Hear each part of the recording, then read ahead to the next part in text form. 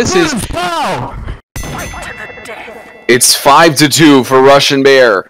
One more round victory, and he wins six keys. Ta- will take four for Retro to get it here. How's it going to be for both of these heavy boxers as Russian has the advantage? Retro trying to get his punches in, manages to get another one in there, trying to get it in, but Russian Oh, Bear man. takes it six to two in Singapore. Round five underway. Here we go. It's do or die here. Lock trap charging in. Lock trap Oh. behind him now. Uh, both men trading blows. Lock trap. Wow. Oh Wowee. my! Well, wait.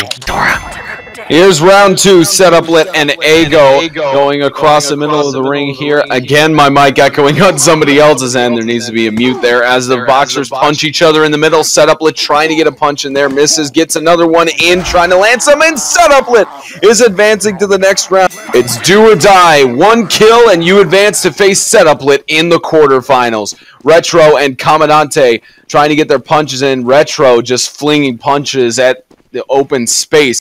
Commandante doing a little bit as well, and it looks like the first punch registered there. I believe that was for Commandante. It may have been for Retro as another punch registers. Looks like there may be a lead here for Retro as both of them trying to deal their punches in. It's Retro again. Commandante just trying to hang on for dear life as he tries to deal his punches in, getting backed up to his corner by Retro.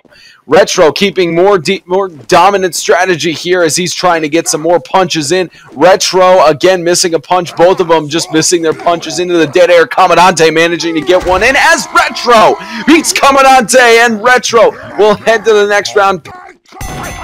Round 10 is underway. It is match point for Retro. Viking 34. He doesn't care at all. He's marching right in. He's not going to let this worry him. He's throwing him into the corner, and it's not going to matter for Queen and Country.